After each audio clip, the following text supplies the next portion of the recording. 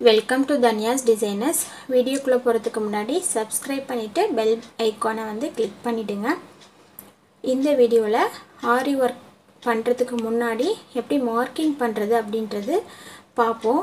இன்றைக்கி வந்து back side இந்த வீடியோவில் பேக் சைடு மார்க்கிங் மட்டும் எப்படி பண்ண போகிறதுன்றத பார்ப்போம். நெக்ஸ்ட் வீடியோவில் ஹேண்டும் ஃப்ரண்ட்டும் பார்ப்போம். இப்போ வந்து நான் வந்து ப்ளவுஸ் எடுத்திருக்கேன். ப்ளவுஸ் வந்து இது வந்து silk cotton blouse cloth so அந்த கிளாத்து தான் எடுத்திருக்கேன். இதை வந்து ரெண்டாக மடிச்சிருக்கோம். எப்பயுமே வந்து ரெண்டாக மடித்து தான் அளவு வந்து குறிப்போம் ப்ளவுஸ்க்கு உங்களுக்கு ப்ளவுஸ் அளவு வந்து குறிக்கிறது எல்லாமே நான் வீடியோ பண்ணியிருக்கேன். என்னுடைய ப்ளேஸ் லிஸ்ட்டில் செக் பண்ணி பாருங்கள் இப்போ வந்துட்டு ஃபஸ்ட்டு நம்ம ஹைட்டை தான் மெஷர் பண்ணணும். இந்த ப்ளவுஸோட ஹைட் பார்த்திங்கன்னா ஃபோர்டீன் இன்ச்சஸ் இருக்குது பார்த்தாவே தெரியும் உங்களுக்கு. எப்போயுமே அளவு எடுக்கும்போது extra two inches விட்டுருப்போம்.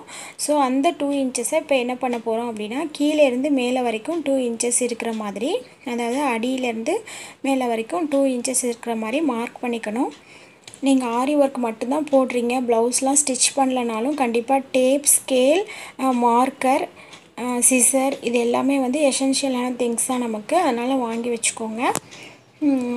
Scale use பண்ணி ஸ்ட்ரைட்டாக வந்து நம்ம டூ லைன் குறித்ததுக்கப்புறம் இந்த மாதிரி லைன் பண்ணிக்கோங்க. லைன் பண்ணிவிட்டு இனிமேல் இதுக்கு மேலே உள்ள அளவு எல்லாமே வந்து இந்த லைனுக்கு மேலே தான் நம்ம குறிக்கணும். ப்ளவுஸை வந்து இந்த மாதிரி கரெக்டாக இந்த பொசிஷனில் வச்சிடணும். வச்சுட்டு சுருக்கெல்லாம் இருந்துச்சுன்னா இந்த மாதிரிலாம் சுருங்கி இருந்தது அப்படின்னா கரெக்டாக அந்த நேராக எடுத்து விட்டுட்டு சுருக்கெல்லாம் எடுத்துட்டு கரெக்டாக கை ரெண்டையும் கரெக்டாக வச்சு பிடிச்சிட்டு இதே மாதிரி டூ இன்ச்சுக்கு அப்புறம் உள்ள கோட்டில் இந்த ப்ளவுஸை வச்சுட்டு நம்ம இனிமேல் அளவு குறிக்க வேண்டியது தான் இப்போ வந்து இதுதான் கழுத்து வெட்டும் பாகம். மேலேயும் கீழே மேலே வந்து நம்ம மெஷர் பண்ணக்கூடாது எப்போயுமே கழுத்து வெட்டும் பாகமாக ஏன்னா வந்து அது கரெக்டாக வராது. இந்த இடத்துல தான் மெஷர் பண்ணணும். இந்த இடத்துல நம்ம இன்ச்சு டேப்பை வச்சுட்டு மெஷர் பண்ணணும். இப்போ எனக்கு ரெண்டே முக்கால் இன்ச்சு இருக்குது கழுத்து வெட்டும் பாகம் நெக் கட்டிங் பார்ட் அப்படின்னு சொல்லுவோம். அது வந்து ரெண்டே முக்கால் இன்ச்சஸ் இருக்குது ஸோ கீழே என்ன ரெண்டே முக்கால் இன்ச்சு இருக்குது அப்படின்னா மேலே வந்து நீங்கள் குறிச்சிங்கன்னா கண்டிப்பாக விரிஞ்சாப்பில் தான் போகும் மூணு மூணே கால் அந்த மாதிரி காட்டும். ஸோ அதனால தான் நான் மேலே குறிக்கக்கூடாதுன்னு சொல்கிறேன் இந்த இடத்துல ஃபஸ்ட்டு மெஷர் பண்ணிக்கணும். பண்ணிவிட்டு அது முடிகிற இடத்த மட்டும் மேலே நோட் பண்ணிக்கணும்.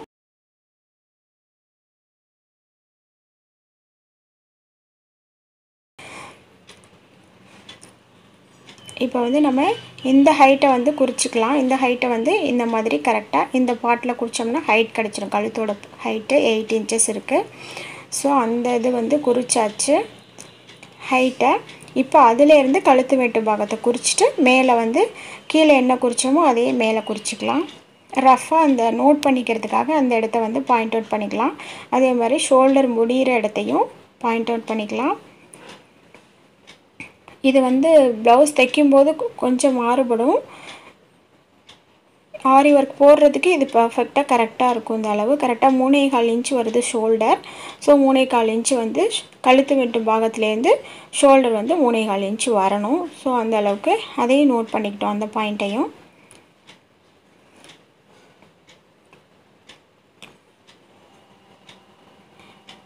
இப்போ நாம் என்ன பண்ண போகிறோம்னா கீழே நம்ம வந்து ரெண்டே ரெண்டே முக்கால் இன்ச்சு இருந்துச்சு கழுத்து வெட்டும் பாகம். ஸோ அதை குறிச்சிக்கிட்டோம். அதே வந்து மேலேயும் குறிச்சிக்கிறோம். மேலே ரெண்டே முக்கால் குறித்த மாதிரியே கீழேயும் ரெண்டே முக்கால் இன்ச்சு வந்து குறிச்சிக்கிட்டு அதை வந்து ஜாயின் பண்ணிடணும்.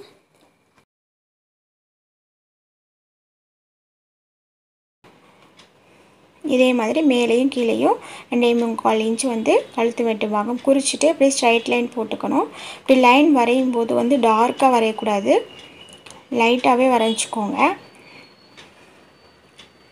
இந்த பென்சிலில் வரைஞ்சோன்னா எரேஸ் பண்ணுறது கஷ்டம். ஸோ அதனால் இந்த பென்சில் யூஸ் பண்ணும்போது லைட்டாகவே வரைஞ்சிக்கோங்க. இப்போ வந்து இதுலேருந்து ஷோல்டர் குறிச்சிருக்கோம் ஆல்ரெடி இப்போ இந்த போர்ஷனில் வந்து நம்ம வளைவு குறிக்கணும். அதுக்கு அப்போ அதுக்கு முன்னாடி வந்து நம்ம ஆம்ஹோல் மெஷர் பண்ணிக்கலாம். இதுவுமே வந்து ப்ளவுஸ் அப்படியே வச்சு ஆம்ஹோல் போட்டோம் அப்படின்னா எக்ஸாக்டாக வராது. கொஞ்சம் நமக்கு கன்ஃபியூஷும் ஆகும். ஸோ அதனால தான் நான் வந்து ஸ்கேல் வச்சு உங்களுக்கு சொல்லித்தரேன்.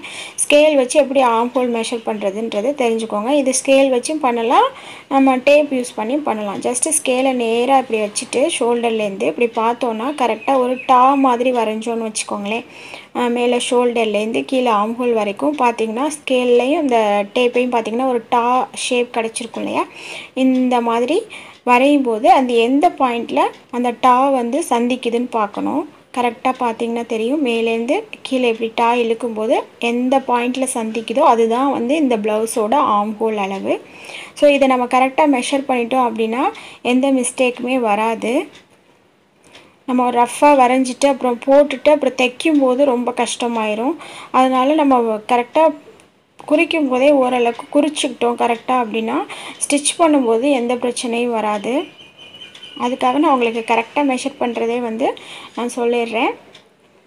இப்போ ஃபைவ் அண்ட் ஆஃப் இன்ச்சஸ் வந்து ஆம் ஹோல் இது ஆம் ஹோல் விளைவு குறிக்கிறதுக்காக எடுத்திருக்கோம். ஒரு லைன் போட்டுக்க வேண்டியதான் எல்லா லைனுமே கொஞ்சம் மெலிசாகவே போட்டுக்கோங்க. இந்த பென்சில் யூஸ் பண்ணும்போது ஒருவேளை டெய்லரிங் சாக் யூஸ் பண்ணிங்கன்னா டார்க்காக போட்டுக்கலாம். ஒன்றும் ப்ராப்ளம் இல்லை.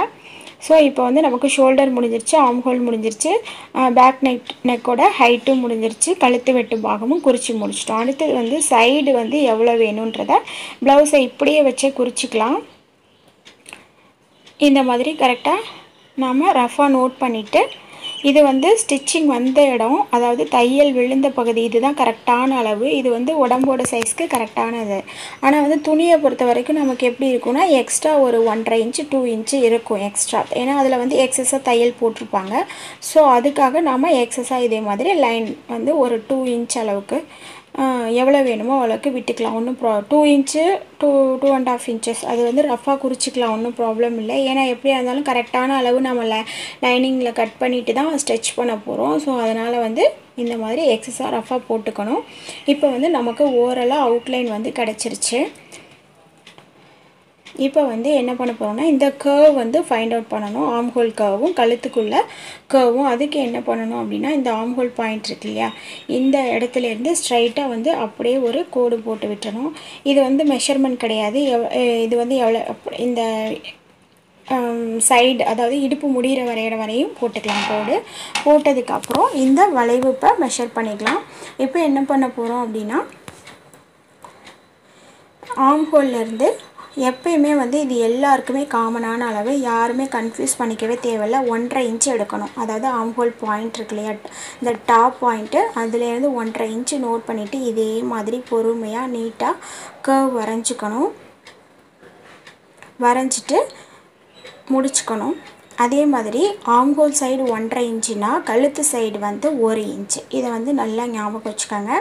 இது வந்து ப்ளவுஸ் ஸ்டிச் பண்ணுறவங்களுக்கு கண்டிப்பாக தெரியும். இது பேக்கை பொறுத்த வரைக்கும் ஆம்ஹோல் சைடு ஒன்றரை இன்ச்சு கழுத்து சைடு வந்து பேக் நெக் சைடு வந்து ஒரு இன்ச்சு ஃப்ரண்ட் சைடை பொறுத்த வரைக்கும் ஒரு இன்ச்சு ஆம்ஹோல் சைட்லேயும் பேக் நெக் ஃப்ரண்ட் நெக் சைடில் வந்து ஆஃப் இன்ச்சு விடுவோம். அது வந்து எல்லாமே நான் வந்து மெஷர்மெண்ட் எப்படி எடுக்கிறது கட் பண்ணுறது எப்படின்னு ஒரு வீடியோ போட்டிருக்கேன் ஒரு ரெண்டு வீடியோ அதில் பாருங்கள் புரியலன்னா அது வந்து கொஞ்சம் கிளியராகவே இருக்கும்.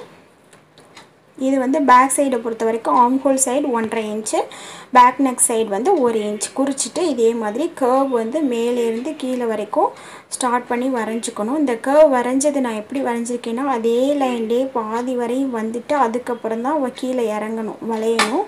அதை வந்து கரெக்டாக வரைஞ்சிக்கணும் நம்ம கர்வு ஸோ இப்படி நம்ம வரைஞ்சோன்னா ப்ளவுஸை வச்சு அந்த வளைவு குறிச்சா வர மிஸ்டேக்ஸ்லாம் வரவே வராது. இது பார்த்திங்கன்னா இது வந்து இதுதான் டெய்லரிங் சாக்குன்னு சொன்னேன் இல்லையா? அதுதான் அந்த சாக் இது. சப்போஸ் நீங்கள் இந்த யூஸ் பண்ணி வரைஞ்சிங்கன்னா டார்க்காக அழுத்தி கூட வரைஞ்சிக்கலாம். ஆனால் எப்போயுமே வந்து டார்க்காக வரைகிறத நான் ப்ரிஃபர் பண்ண மாட்டேன். ஏன்னா ஒயிட் ஒயிட்டாக அங்கங்கே பேச்சஸாக ஃபுல்லாக படிஞ்சிருச்சுன்னா வந்து ரிமூவ் பண்ணுறது ரொம்ப கஷ்டம். ஸோ அதனால் லைட்டாக வரைஞ்சிக்கிறது தான் நல்லது. இப்போ வந்து நெக்கை சுற்றி மட்டும் நம்ம டிசைன் பண்ணுறோம் அப்படின்னா நெக் மட்டும் நம்ம குறிச்சிட்டு மீதி எல்லாம் கூட ஆம் கோழி இதெல்லாம் குறிக்கவே தேவையில்லை. அப்படியே விட்டுறலாம். பட் வந்து ஒரு ஆரி ஒர்க் ப்ளவுஸ் வந்து நம்ம ஃபுல்லாக ஒரு ப்ளவுஸ் ஃபுல்லாக டிசைன் பண்ணுறோம் அப்படின்னா கண்டிப்பாக வந்து எல்லாமே குறிக்கணும்.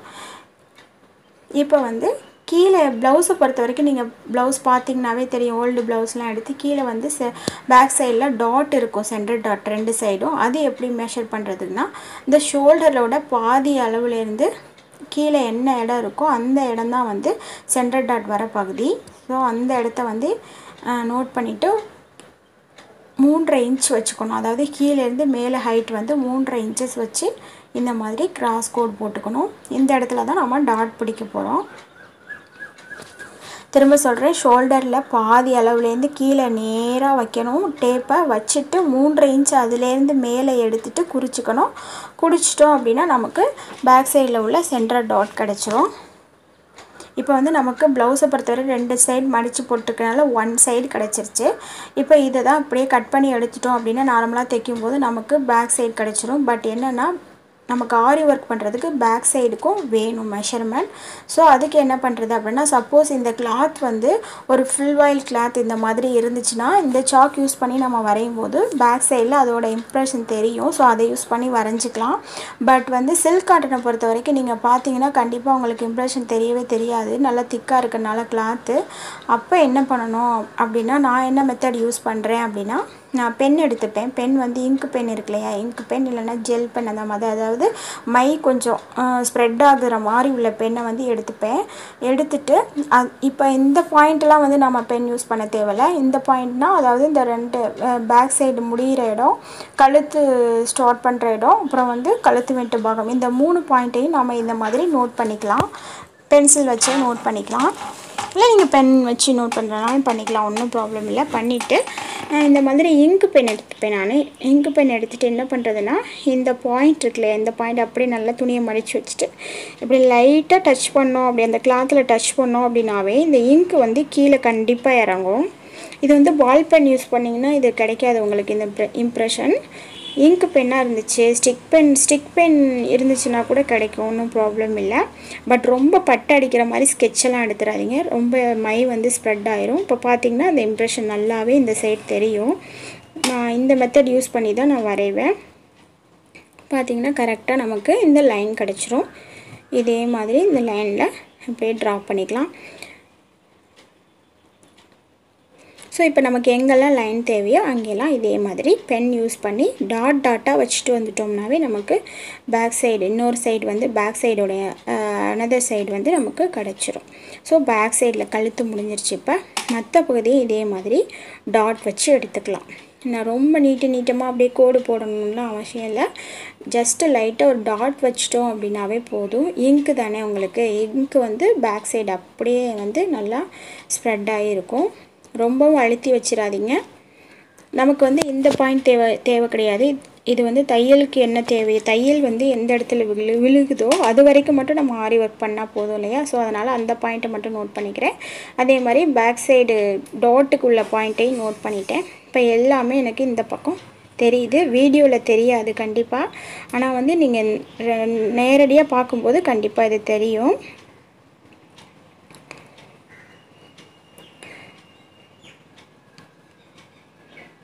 இந்த இடத்துல தான் இல்லை இந்த டாட்ஸ் எல்லாம் இந்த இடத்துல வருது ஆம் ஹோலுக்கு ஸோ இந்த இடத்துல ஆம் ஹோல் நான் மெஷர் பண்ணி எடு வரைஞ்சிக்கிறேன். இப்படி வரையும் போதுமே ரொம்ப ட- அழுத்திலாம் வரைய தேவையில்ல. இந்த பென்சிலில் வரைஞ்சோன்னா அழையவே அழையாது என்ன பண்ணாலும் அழையாது ஸோ அதனால் இந்த பென்சிலை வந்து லைட்டாக வரைஞ்சிக்கிட்டாவே போதும். இந்த இடத்துல வருது இந்த கிராஸ் டாட்டு ஸோ சைடு இடுப்பு டாட் வந்து இங்கே இருக்கனால இதையும் இங்கே குறிச்சாச்சு. அதே மாதிரி இந்த ஸ்ட்ரைட் லைனையும் போட்டுக்கலாம். எல்லாமே நம்ம பெனில் போட்டிருக்கனால நல்லாவே தெரியும். பேக் சைடு டாட் வந்து இந்த இடத்துல வருது. ஸோ அதையும் நான் நோட் பண்ணிக்கிறேன். புள்ளி தான் வச்சோம் இல்லையா? ஜஸ்ட் ஒரு டாட் தான் வச்சோம். அந்த டாட்ஸ் எல்லாமே இந்த சைடும் தெரியும். ஸோ இப்போ பிரிச்சிட்டோன்னா நமக்கு பேக் சைட் ஃபுல்லாக கம்ப்ளீட் ஆயிரும். அவ்வளோதான் இப்போ பேக் சைடு நெக்கு முடிஞ்சிருச்சு. ஆம்கோல் ரெண்டு சைடுமே கிடச்சிருச்சு. இப்போ வந்து நமக்கு பேக் சைடில் கழுத்தை சுற்றி மட்டும் டிசைன் பண்ண போகிறோம் அப்படின்னா மீதி உள்ள மெஷர்மெண்ட்ஸ் எல்லாம் தேவையில்லை. கழுத்தை சுற்றி மட்டும் நம்ம முடிச்சுட்டு ஒர்க் பண்ண ஸ்டார்ட் பண்ணிடலாம். பட் என்னென்னா ஃபுல்லாக ஒர்க் பண்ணணும்னா இந்த மாதிரி நம்ம வந்து மெஷர் பண்ணி எடுத்துக்கணும். இப்போ இதை முடித்ததுக்கப்புறம் என்ன பண்ணணும் அப்படின்னா கழுத்தில் இப்போ குறிச்சிருக்கோம் இல்லையா? அந்த அளவுலேயே அப்படியே அதிலே ஸ்டார்ட் பண்ணிடக்கூடாது எப்பயுமே ஒர்க்கை அதை விட்டு ஒரு ஹாஃப் இன்ச்சு தள்ளி தான் வந்து நம்ம ஜரி த்ரெட்டில் போடுறத ஸ்டார்ட் பண்ணணும். எப்பயுமே ஆரி ஒர்க் ஸ்டார்ட் பண்ணால் ஜரி த்ரெட்டில் போட்டுட்டு டூ லைன்ஸ் போட்டுட்டு அதுக்கப்புறம் தான் நம்ம வந்து மற்ற எல்லா ஒர்க்கையும் செய்யணும். அதுக்கு வந்து ஒரு ஹாஃப் இன்ச்சு விட்டுறணும். நம்ம என்ன அளவு குறிச்சிருக்கோமோ கரெக்டான அளவு அதில் ஹாஃப் இன்ச்சு விட்டுட்டு அதுக்கப்புறம் இப்போ நான் குறிக்கிறேன் இல்லையா செகண்டாக அந்த லைன்லேருந்து தான் நமக்கு அந்த லைன் தான் first line of zari thread வரணும்.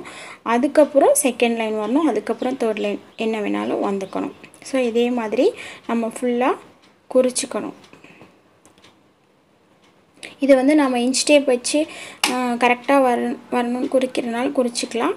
எனக்கு கரெக்டாக வரனால நான் அப்படியே ரஃபாகவே குறிச்சிக்கிட்டேன். ஷோல்டர்லேயும் அதே மாதிரி இந்த இடத்துல பார்த்திங்கன்னா ஷோல்டரில் அப்படியே ஃபுல்லாக போட்டுறக்கூடாது. அதுலேயும் ஒரு ஹாஃப் இன்ச் அளவுக்கு விட்டுட்டு ரெண்டு பக்கமே ரெண்டு ஷோல்டர்லையுமே வந்து மேலே வந்து ஒர்க் பண்ணக்கூடாது. அதுக்கு கீழே தான் ஒர்க் இருக்கணும். ஏன்னா ஷோல்டர் பிடிக்கும் போது நமக்கு இடிக்கும் இல்லையா? ஸோ அதனால் அதுக்கு கீழே தான் ஒர்க் இருக்கணும். அதே மாதிரியே கழுத்துலையும் கம்ப்ளீட் பண்ணிட்டோம். இதே மாதிரி ஆம்ஹோல் சைடும் அதே மாதிரி தான் ஃபுல் ஆம்ஹோல் வரைக்கும் நம்ம ஒர்க் பண்ணக்கூடாது. ஆம்ஹோல் பாயிண்ட் இருக்குல்லையே அது வரைக்கும் ஒர்க் பண்ணோம்னா கண்டிப்பாக தைக்க முடியாது. ஸ்டிச் பண்ணும்போது கஷ்டம். அதுலேயும் ஹாஃப் இன்ச்சு விட்டுட்டு தான் நம்ம வந்து எப்பயுமே ஒர்க் பண்ணி முடிக்கணும். இது வந்து நான் ஆம்ஹோல் சைடு வந்து ஃபுல் ஒர்க் நம்ம ஆரி ஒர்க் வந்து ஃபுல்லாக பண்ணுறதா இருந்தால் ஆம்ஹோல் சைடு வந்து இதை மெஷர் பண்ணிக்கலாம். இல்லை கழுத்து சுற்றி மட்டும் தான் நம்ம பண்ண போகிறோம் அப்படின்னா ஷோல்டர் சைடும் கழுத்து சைடு மட்டும் பண்ணால் போதும். இதே மாதிரி ஆம் ஹோல்லையும் ஃபுல்லாக ஹாஃப் இன்ச்சு விட்டுட்டு குறிச்சிக்கணும். ரெண்டு சைடும் அதே மாதிரி குறிச்சிட்டு இடுப்பு சைடுமே வந்து ஹாஃப் இன்ச்சு விட்டுட்டு தான் வந்து உள்ளே ஒர்க் பண்ணணும். இதெல்லாம் நம்ம பண்ணாமல் நம்ம இதை மைண்டில் வைக்காமல் நம்ம ஆரி ஒர்க் பண்ணிட்டோம் அப்படின்னா கண்டிப்பாக ஸ்டிச் பண்ணுறது கஷ்டம். ப்ளவுஸ் வந்து ஒன்று லூஸ் ஆயிரும் ரொம்ப. இல்லை பீடில் அடி வாங்கி ஊசி ஃபுல்லாக உடஞ்சிரும் ஸ்டிச் பண்ணும்போது. நிறைய ப்ராப்ளம் வரும். ஸோ அதனால் இது எல்லாத்தையும் மைண்டில் வச்சுட்டு தான் மார்க் பண்ணி முடிக்கணும். முடிச்சுட்டு பர்ஃபெக்டாக மார்க் பண்ணதுக்கப்புறம் தான் நம்ம ஆரி ஒர்க் போடவே ஸ்டார்ட் பண்ணணும். அதே மாதிரி இந்த இடம் பார்த்திங்கன்னா இந்த டாட் இருக்கு இல்லையா? இது வந்து இப்படி மடித்து டாட் பிடிக்கிற மாதிரி வரும். ஸோ அதனால் இந்த இடத்துலையும் ஃபுல் ஒர்க்கு கொடுக்கும்போது இந்த இடத்துலையும் ஒர்க் வரக்கூடாது. அதையும் பார்த்துக்கோங்க.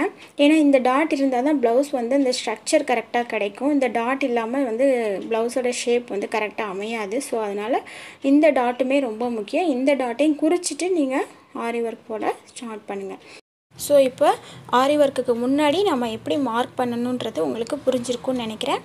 இந்த ரெண்டு வீடியோவாக நான் வந்து ப்ளேலிஸ்ட்டில் ஆட் பண்ணியிருக்கேன் அளவு வந்து எப்படி எடுக்கிறது அதை மார்க் பண்ணி எப்படி கட் பண்ணுறது இந்த ரெண்டு வீடியோ தான் இருக்கும். இந்த மெஷர்மெண்ட் அண்ட் மார்க்கிங்க்கு தேவையான வீடியோ இது. இதை வந்து நீங்கள் செக் பண்ணி பாருங்கள் ப்ளேலிஸ்ட்டில் இந்த வீடியோ உங்களுக்கு பிடிச்சிருந்துச்சுன்னா மறக்காமல் சப்ஸ்கிரைப் பண்ணிடுங்க. தேங்க்ஸ் ஃபார் வாட்சிங் கீப் ஆன் வாட்சிங் தேங்க்யூ